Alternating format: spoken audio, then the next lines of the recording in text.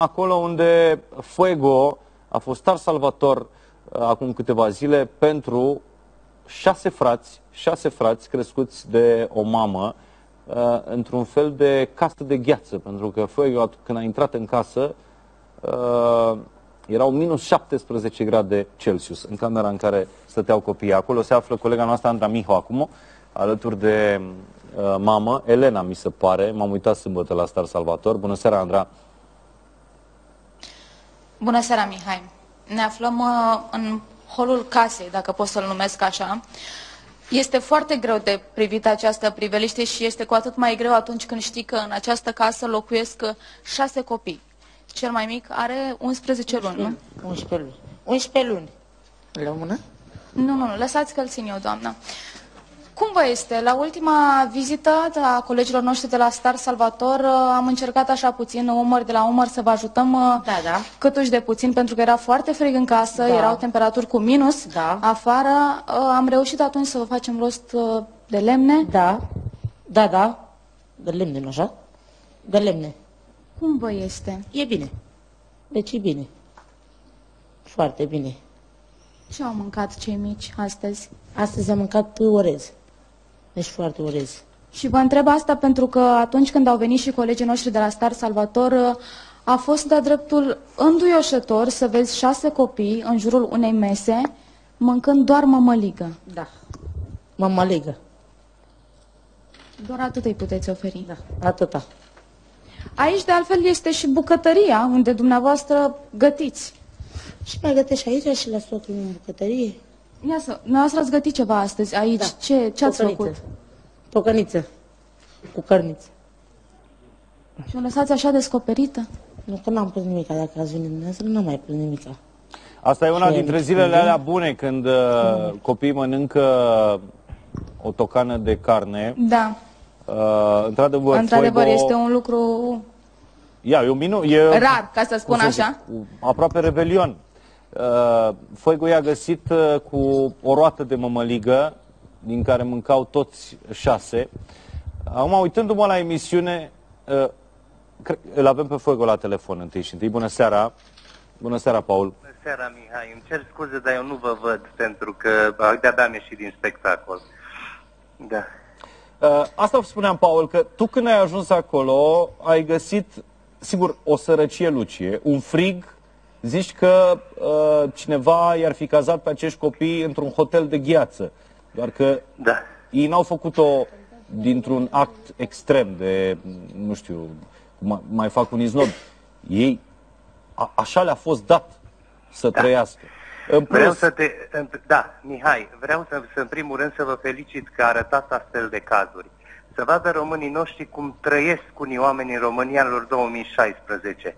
Eu am fost, uh, cum să spun eu, surprins de faptul că această mamă, uh, această mamă, nu știu cum își crește ea copiii, pentru că am stat o zi întreagă acolo și am încercat cât de cât să, să facem noi focul, pentru că eu când am venit cu echipa de filmare Star Salvator, ea nici nu avea focul făcut, ea a făcut focul, cred că de rușine, că venim noi. Uh, Era un frig îngrozitor. Gândiți-vă că noi am filmat acele imagini pe care, pe care probabil telespectatorii le văd la minus 13, minus 14 grade. Atâta era afară, În- în, în luna aceea când am filmat și în noi. casă Era cam tot perioada atât. aceea. Dacă nu era focul făcut, Îți dai seama, copiii aveau mânuțele înghețate, cel puțin, ăla micuțu. Ăla Ăla- avea mâinile înghețate. Uite, Eu am l-ați venit- văzut mai devreme în imagini pe cel mic care 11 luni mănâncă dintr-un croissant pe care îl adusese Fuego atunci. Eu am adus niște dulciuri neștiind ce găsesc acolo. Ei au mâncat dulciurile, cred că nici nu le-au mestecat, măi, le-au înghițit de foame. Uh, uh, am cerut o farfurie ca să pot să le pun ceva în farfurie și mi-a dat farfuria de jos, din mizerie. Fuego. Adică, uh, Paul, știi ce m-a șocat pe mine și uh, mă bucur foarte mult că aude și mama, uh, ne aude și Andra. Uh, Andra se află acum în, uh, în casă, în bucătărie. Da, da, în, da. La fel de multă mizerie. Am înțeles sărăcia, am înțeles uh, uh, greutățile de a crește singură șase copii, dar nu o să înțeleg niciodată uh, mizeria, nu o să înțeleg niciodată dezordinea, murdăria, uh, focarul ăla de infecție în care această femeie își crește acești șase copii. Tocmai spunea Andra mai devreme că le-a făcut o tocăniță cu carne. E o masă de Crăciun astăzi uh, pentru Da. ei. Nici măcar nu e acoperită oala aia cu un, uh, uh, cu un capac. Mai mult Așa decât e. atât, uh, fetița cea mare, care e de o frumusețe uh, de aia uh, tipică românească, Da, și e deșteaptă. Și e Elena, deșteaptă. foarte deșteaptă, ea nu Da. știa câți ani are, Da, măi. ea nu știa cum o cheamă. Da. Asta în mi primul se rând pare- că mulți dintre ei, uh, băiatul cel mare, dacă te-ai uitat atent, el, el e un pic are probleme psihice, clar, pentru că în momentul în care i-am spus, haideți să mergem să vă arătăm Bucureștiul, să vedeți cum trăiesc alți oameni, să faceți o comparație, să mergem să vă îmbrăcăm. El s-a speriat pur și simplu și a luat-o la fugă pe câmp. A trebuit o oră să alergăm după el, pentru că el a crezut că îl ducem, nu, ș- nu știu ce a crezut el în mintea lui. Noi vrând să facem un bine. Știi, Mihai, e tragic să știm că în România anului 2016 există astfel de familii. Uh, Dar aș vrea să ne gândim că acești copii au fost norocoși, atenție și poate asta e șansa vieții lor prin emisiunea asta, Star Salvator, și uite faptul că promovezi lucrurile acestea. Dar crede-mă că sunt mii de exemple în țară astfel. Poate că aceasta e o lecție pentru toată lumea, Mihai. Eu vreau Cineva să și spun nu ceva, Știu, nu știu uh, cine trebuie să facă ceva pentru a împuțina aceste Paul, situații. Andra, eu cred că acestei doamne, cu tot respectul că a făcut șase copii, Da. dacă îi dai astăzi sau mâine un milion de euro, nu o să știe să-ți crească copiii mai bine decât o face acum. Pentru că m-am uitat foarte atent la emisiune sâmbătă seara, nu m-am uitat la nimic altceva, am stat pe Antena Stars, să te Da. văd la Star Salvator și am Da. studiat comportamentul acestei mame.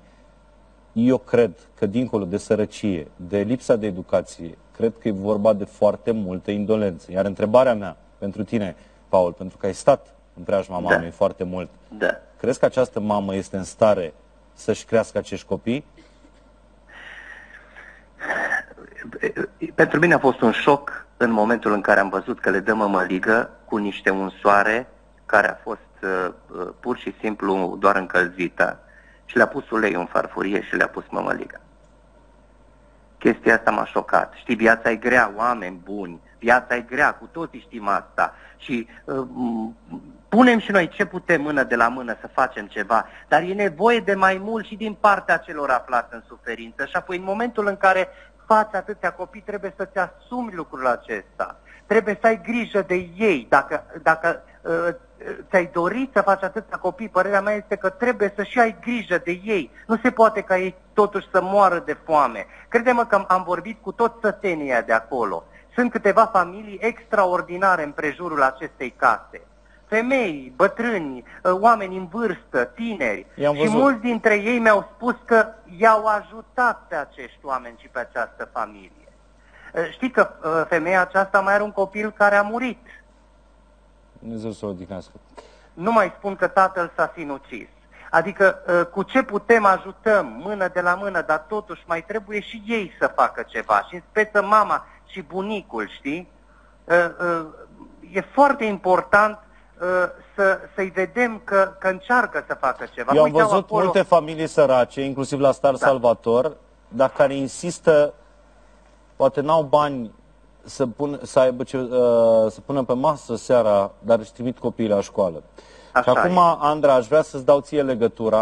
Paul, te rog să rămâi la telefon, Da, pentru da. că noi am spus Da, niște Mihai. lucruri. Sigur că am încercat să nu o judec, am încercat să, să spun doar telespectatorilor ce am văzut la această emisiune, ce mi s-a părut mie. Poate Da. sunt, uh, uh, sunt greșit în uh, ceea ce am spus, sunt eronat. Uh, Andra, aș vrea să o auzim puțin pe, pe Elena, pe mamă. Da, Mihai, am intrat acum în uh, singura cameră în care locuiesc uh, copiii.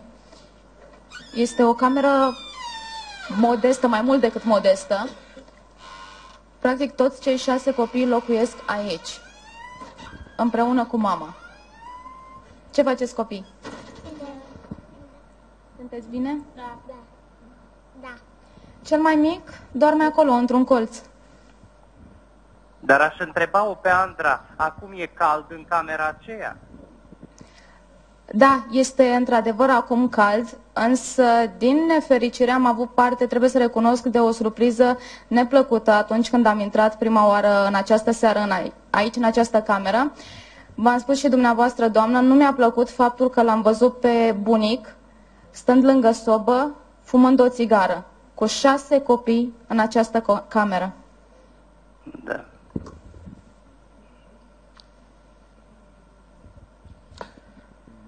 Vă uitați la mine și nu știți ce să spuneți. Vi se pare normal, doamnă, ca o mamă care are șase copii, da. cel mai mic având 11, 11 luni, 11, 11 luni. să stea într-un spațiu închis, neaerisit Da. și cu fum de țigară. Și cu fum de țigare. Da. Da, e greu de stabilit un uh, punct de întâlnire logic cu doamna Elena. Elena Da. este cea care ar trebui, în momentul ăsta, legile din România o fac responsabilă și cu până la urmă are toate drepturile asupra celor șase copii. Acum întrebarea este, au vreo șansă acești șase copii? Star Salvator a fost. Săptămâna asta o să fie al caz. Lumea să uite de ei. O să-i mai ajute vecinii. Copiii ăștia, niciunul dintre ei, până când nu s-a dus fuego acolo cu Star Salvator, ei nu ieșiseră, nu trecuseră de plăcuța uh, cu numele comunei unde locuiesc. Ei nu, văzu, ei nu știau ce înseamnă un semafor. Ei nu știau ce înseamnă un hotel. Atenție, Mihai, ei nu au Da. fost niciodată cu mașina. Nu, nu, nu să fi stat la un hotel. Ei nu știau ce înseamnă hotel. N-au fost urcați niciodată într-o mașină. Niciodată. ele, cât, câți ani are Elena, fata cea mare? Andra?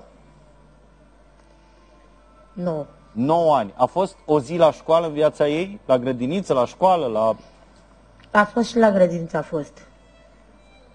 A fost. Și la școală a fost, doamnă? Da, ești la școală și acum, Păi și la Fuego... clasa întâi. Stați un pic, că nu, nu, nu vorbim, vorbim despre fata din imagine acum, fata are 9 ani. Nu, Fuego a întâlnit-o în, uh, la intrarea în casă pe, mi se pare că tot Elena o Ea cheamă. este Elena, nu are 14 ani. Nu, asta nu e a mea. Dar unde e Elena? Să vin, cheamă-o, te rog frumos, pe Elena. Elena, vine Uite, aici. ea este nu că Elena. lângă noi aici. Câți ani ai, Elena? Fuego a întrebat-o câți ani are. Câți ani ai? Nu știa să spună. 9 ani. Acum a spus pentru că a auzit uh, discuțiile Și mergi noastre. la școală? Da, În ce Andra, clasă ești? întâia. Da. Andra, uh, tu, tu ai pe telefon, Da, ai, un- ai un telefon la tine? Ai un text? Uh, da. Ai, sau uite, cubul e cubul televiziunii. Roagă pe uh, Elena să spună literele de pe cub. De pe cubul tău, de, de la microfon. Elena, Ce? uită-te la acest microfon. Ce scrie pe el?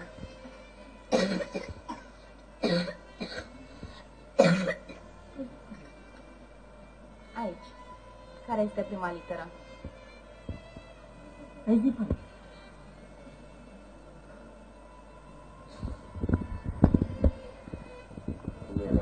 Prima literă.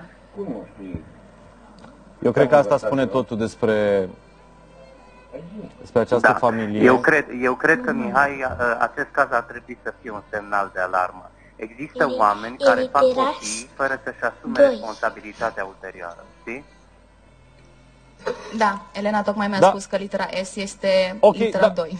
Înt- Întreabă, te rog frumos, pe mamă, care e a doua literă din uh, cuvântul de pe cub? Mama nu știe. Doamna, spuneți-mi care este a doua literă pe care o vedeți uh, Trei. aici? Trei. Literă, nu cifră. Era atât, nu trei. Deci asta nu știu. Repet, ceea Aș ce... vrea să vă mai întreb un lucru, doamnă. Știu că dumneavoastră nu sunteți o femeie școlită. Dar cu toate astea ați adus pe lume șase copii. Da. Ați avut, uh, ați trecut și prin nefericirea prin care v-a murit un copil. Nu Da. v-ați dori ca acești copii pe care aveți să meargă la școală, să aibă parte de o educație? N-am avut posibilitate. Doamnelor, Nu, domnișoarelor și pentru domnilor, ăsta este un fenomen în România, analfabetismul. Trebuie să punem punct aici. Paul, îți mulțumim pentru ce ai făcut pentru stat Eu vă salvator. Eu aș vrea mulțumesc. să continuăm acest pas, caz pentru că mi se pare un mare, mare semn de exclamare. Astea sunt cu adevărat problemele acestei țări. O țară care pe jumătate este cufundată în analfabetism și în indolență, nu numai în sărăcie. Sărăcia doare, dar analfabetismul nu dă nicio șansă la viitor pentru o țară. Ne întoarcem imediat.